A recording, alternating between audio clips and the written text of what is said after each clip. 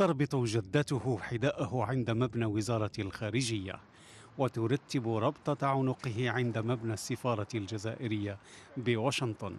وبين المبنيين تحدث حكاية الطفل ماتيو هيل صاحب الأحد عشر عاما والذي يعاني من حالة توحد لكنه يطمح أن يكون يوما سفيرا لأمريكا وتحديدا في الجزائر. I have always been very inspired لطالما ألهمتني الجزائر بتاريخها ومساحتها كأكبر بلد في إفريقيا وثالث أقوى اقتصاد في العالم الإسلامي أحببت ثقافتها وفريقها لكرة القدم لكني أكثر من ذلك أطمح لمساعدة الشعب الجزائري وبقية شعوب المنطقة.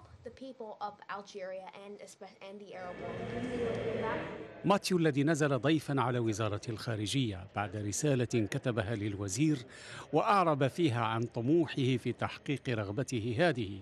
وبعد أن تنقل بين أروقتها ومحطاتها تقمص دور المتحدث باسم الوزارة.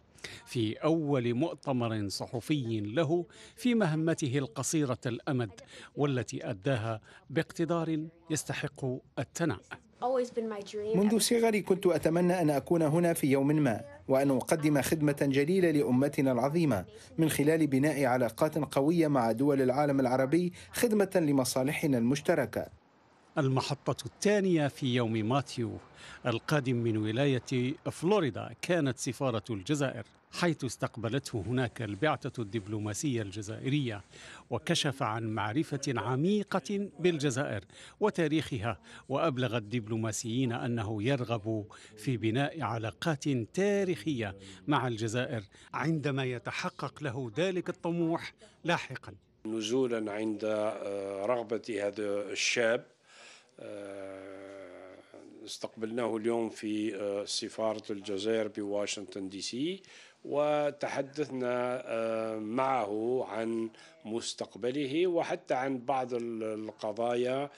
قصة ماتيو تحمل كثيرا من المعاني واحدة منها التحدي في صور عدة. ماتيو هذا الطفل الأمريكي الذي تجاوز كل العوائق.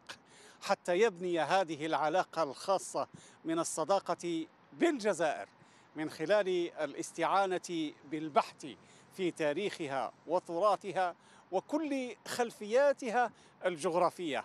أكثر من ذلك أن ماتيو يظهر تعلقا واضحا بمنتخب الجزائر لكرة القدم. كل الذي يطمح إليه ماتيو لاحقا أن يكون سفيرا للولايات المتحدة في الجزائر. ومن الحب ما صدق. رابح فلالي الحرة واشنطن.